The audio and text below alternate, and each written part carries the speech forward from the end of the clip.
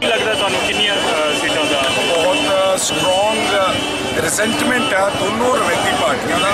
ਅਕਾਲੀ ਦਲ ਤਾਂ ਖੇਡ ਤੋਂ ਬਾਹਰ ਹੈ। ਮਾੜਾ ਮੋਟਾ ਕਾਂਗਰਸ ਸਹਿਕ ਰਹੀ ਹੈ, ਲੇਕਿਨ ਜਿਹੜਾ ਆਮ ਜਨਤਾ ਨਾ, ਜਿਹੜਾ ਅਨਅਟੈਚਡ ਵੋਟਰ ਜਿਹੜਾ ਸਾਇਲੈਂਟ ਵੋਟਰ ਆ ਉਹ ਝੰਡੇ ਪਾਵਾਂ ਜਿਹਦੇ ਮਰਜ਼ੀ ਲਾਈ ਰੱਖੇ ਪੰਜਾਬ ਦੇ ਵੋਟਾਂ ਆਮ ਆਦਮੀ ਪਾਰਟੀ ਨੂੰ ਪਾਉਣੀਆਂ ਔਰ ਮੇਰਾ, ਮੈਂ ਕਿਉਂਕਿ ਮਾਲੇ ਵਿੱਚ ਵੀ ਫਿਰਿਆ, ਮੈਂ ਮਾਝਾ ਦੁਆਬਾ ਵੀ ਗਿਆ ਸਾਡੀ ਬਹੁਤ ਕੰਫਰਟੇਬਲ ਮੈਜੋਰਿਟੀ ਨਾਲ ਗਵਰਨਮੈਂਟ ਅਵਸ਼ ਬਣੇ।